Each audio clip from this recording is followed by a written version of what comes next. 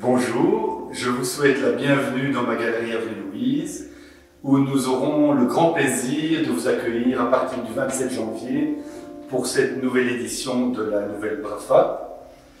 Nous sommes euh, très impatients de vous faire découvrir euh, les nouveaux objets que nous avons rassemblés pour vous.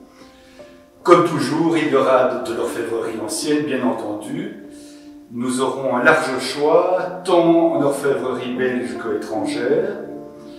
En orfèvrerie belge, par exemple, je peux déjà vous dire que nous vous montrerons la plus ancienne théière belge connue à ce jour. Euh, elle a été réalisée à Liège par l'orfèvre Lambert Anglebert.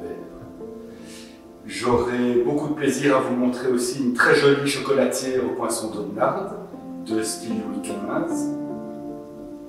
En orfèvrerie étrangère, vous pourrez découvrir une très jolie tabatière en argent doré au poinçon de Messine, réalisée vers 1740.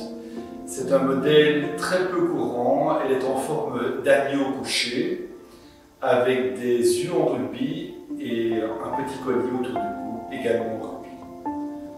En orfèvrerie anglaise, par exemple, vous pourrez découvrir aussi une importante salière de la moitié du XVIe siècle en cristal de roche et argent doré.